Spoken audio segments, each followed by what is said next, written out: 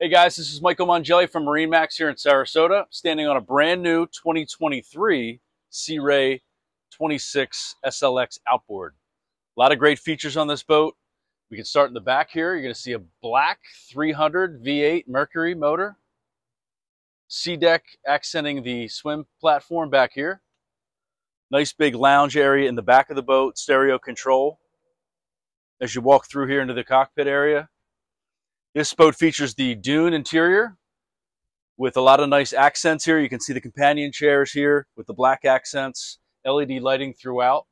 This, uh, this boat also features a power tower.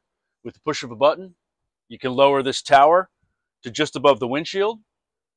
And another cool feature with this tower is it has this extended shade off the back of the boat, which covers your, your sun pad. So up here at the helm, you've got twin screen Simrads here. So you've got nice GPS screens. You can split them up any way you want.